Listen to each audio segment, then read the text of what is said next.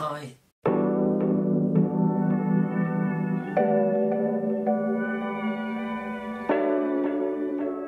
Right, hey everybody and welcome. We're going to be talking about charcoal for the next few weeks and delving into some topics relating to mark making. So what have I been doing? So for the last month I've been experimenting with charcoal and during this time period I've created about 20 drawings.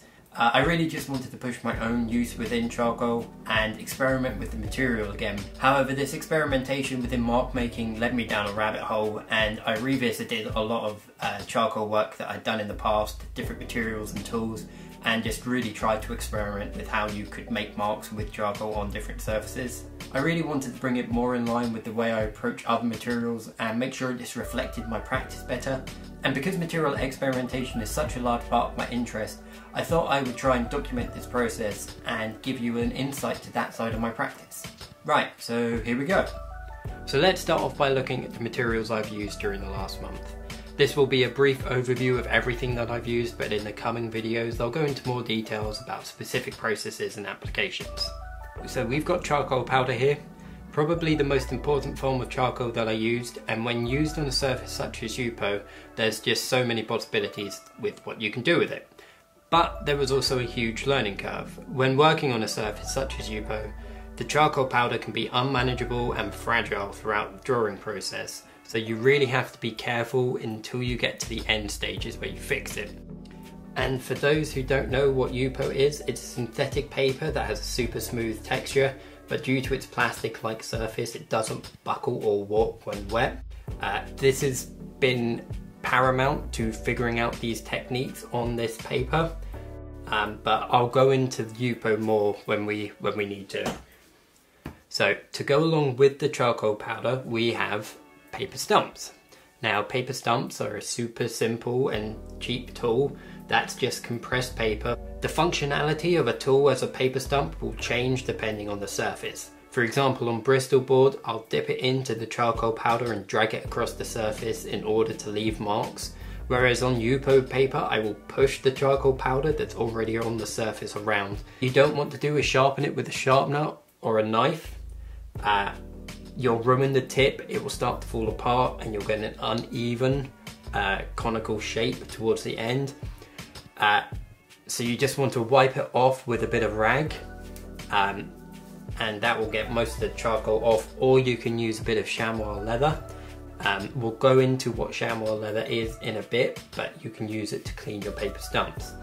Uh, another thing that you don't want to do is you don't want to get them wet. Because it's compressed paper, if you get them wet, you start to ruin the integrity of the paper stump and it will start to fall apart. So, And for the third item I use in my charcoal drawings, we've got a putty rubber. Now these three items, the powdered charcoal, the paper stump and the putty rubber are probably the most important tools that I'll use and you can get some unbelievable marks with just these items. So the first thing you want to do when you get a putty rubber or a kneadable eraser is to knead it. Um, it's the first mistake that I see when people try to use uh, kneadable erasers. They come out of the pack and they're not great, they're sort of sticky. Uh, but if you start working it, start kneading it, they become malleable and they will become one of the most important tools in your toolbox. Also, when you're working it, and making it more malleable, this also gives you the opportunity to start to shape it into points or chisels. So when you're removing charcoal, you can remove it with quite high degree of accuracy. Uh, and it will also keep it clean. When you use a putty rubber, such as this, I think this one is about three or four years old. Uh, obviously, they will pick up charcoal and pick up graphite and start to get dirty. Uh, but you clean them just by kneading them. You'll start to work the charcoal out. The charcoal will end up on your hands. You'll just end up with a clean surface which you can use and they'll last you a really long time if you take care of them. You want to avoid dropping it in anything like sawdust or pencil shavings, anything that might be uh, detrimental to the rubber if it's kneaded in. But other than that, they should last you a really long time. Here we've got an Edge Pro Gear charcoal bag. Uh, essentially what this is, it's a bit of cotton with charcoal powder inside. Um, you can use this in tandem with the charcoal powder Uh, or you can load them up beforehand and then you sort of can beat charcoal out of it. Now, this is more of a specialized tool. They can run quite expensive. It's, a, it's certainly a tool that if you are very interested in making a variety of marks within charcoal, it's something that is very interesting to use. But if you're just starting out in charcoal, it wouldn't be my first tool to go to. You can also use it in tandem with your uh, charcoal stump and you can beat the edge of it and put a little bit of charcoal on your paper stump instead of dipping your entire paper stump into the charcoal. This is one of the ways in which we can control our gradation within charcoal is by limiting the amount of charcoal that we're putting on our tools. And you can also use the tail end to sort of brush the charcoal around. It has a frayed edge and you'll get some very nice chaotic marks from that. Uh, so here we've got some General's charcoal pencils, both extra soft, both 6B. From my understanding, this is the softest that they go. Uh, I don't use anything harder than this because you end up denting the paper too much. Whereas a soft charcoal pencil like this, you can be very light, but still create marks that you can work with. You can take them away, you can add more to them, and they're very uh, malleable at the time. Uh, both are sharpened, as you can see. I recommend sharpening two or three pencils beforehand, before you start your drawing, so you don't have to stop your flow of drawing to sharpen a pencil. I'm gonna, so we have an unsharpened pencil here. I'm gonna show you how to sharpen it because ultimately I think that you should avoid sharpeners. Now, when you're sharpening with a pencil sharpener or a charcoal pencil sharpener, you are twisting and this twisting is creating a lot of torsion on the end of the charcoal pencil which ultimately when you've got something so brittle like exposed charcoal here that twisting action can very easily snap, snap off the end. So instead of that what we want to do is use a Stanley blade. Now if you're using a Stanley blade you've got to be careful obviously.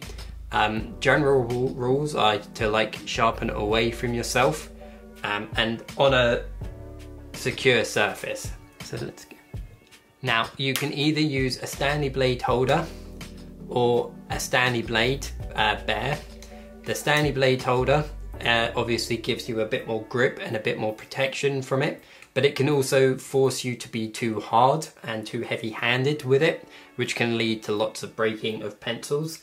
My favorite and the safest way I've found to sharpen pencils is to take your Stanley blade and sort of dig it into a surface such as a cutting mat and then use that point as a pivot point. You slowly pivot with the blade, twisting the pencil and you'll start taking away little chunks of wood. Now just take your time with this and sort of find something that's comfortable for you to do but please be careful. Um, now this now this technique works because instead of giving that twisting energy to the tip of the pencil, you're going along the grain of the pencil which it wants to cut along. You're finding the grain and you're cutting with it. And this is just a lot safer for the pencil tip.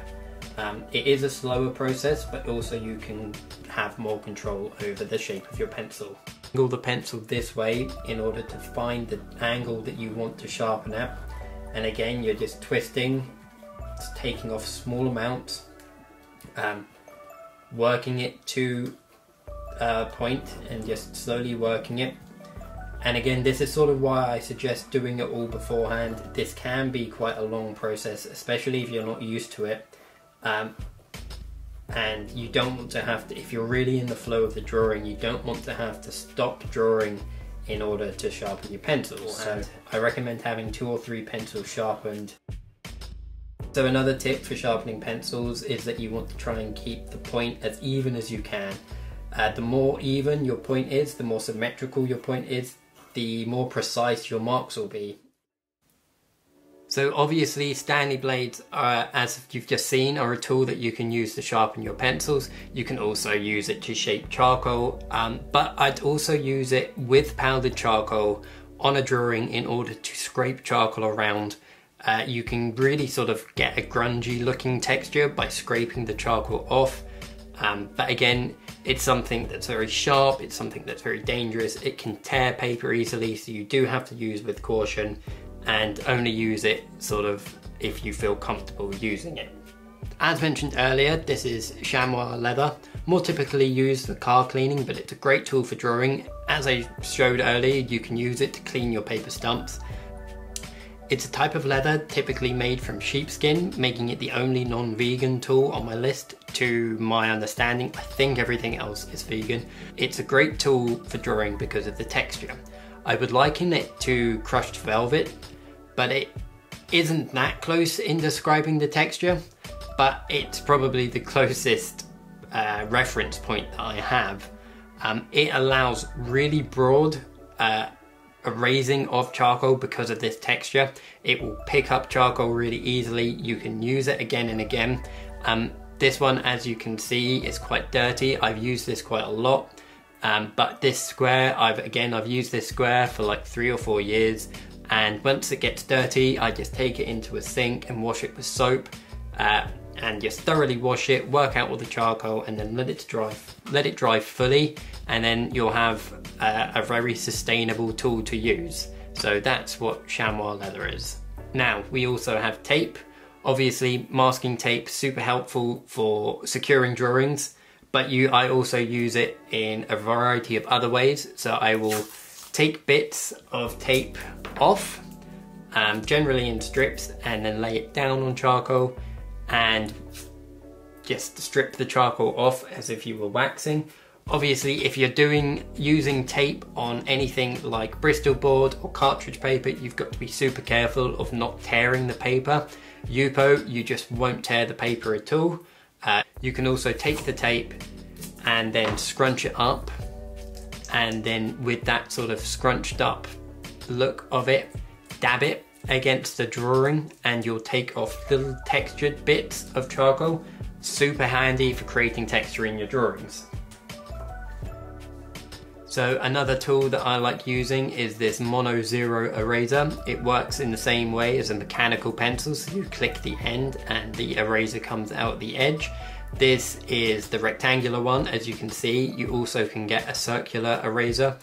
You also get replacement erasers. So once you start to run out, you can just take it out and replace it and then you'll have a new eraser. Uh, super handy tool for fine marks, but also more stubborn marks. Because it's got this ferrule around the edge here, which is supporting the eraser, you can apply quite a lot of pressure and still sort of keep it quite straight and keep, erasing. So super handy tool. So stencils have been something that I've been playing around with charcoal this time round. Uh, because I'm using the powdered charcoal, you can obviously almost apply it like a spray paint and powder over the top, keep it very soft, and then lift up the stencil and you'll have a mask. So whatever is covered by the stencil won't get covered in charcoal, and what is not covered by the stencil, charcoal will go through and the paper will be stained with charcoal. Uh, so you can buy your own stencils. I've got some from Amazon. Um, but you can also go and make your own stencils. Now, this might be a bit difficult to see, but this is something that I've made out of mylar. Um, I've also made stencils in the past out of uh, acetate, but again, sort of just thinking about the different ways that you can apply charcoal and the different types of marks that you might be able to make.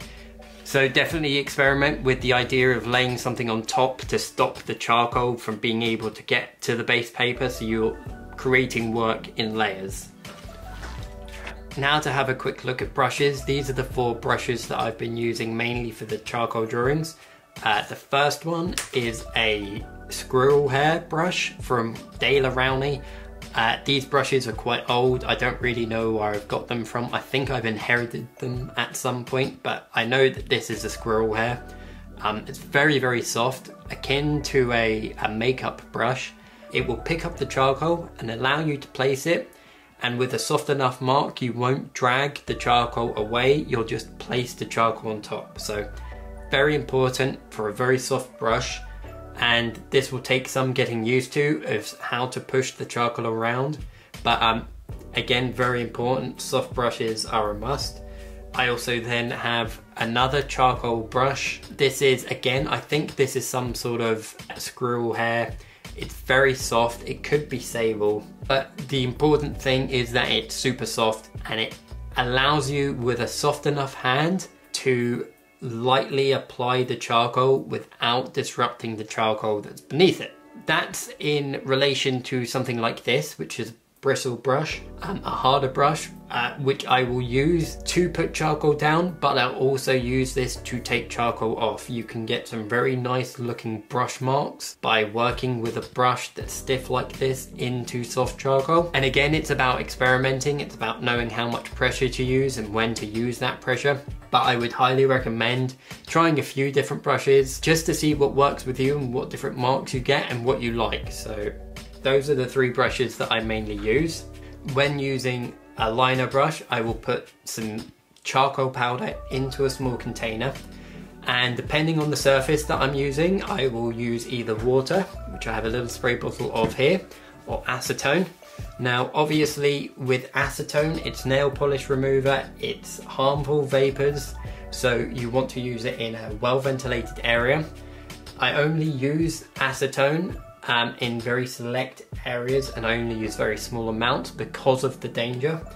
Um, and even when, even though I'm only using small amounts, I am using it in a well ventilated area. So you have to use acetone if you're drawing on something like Bristol board.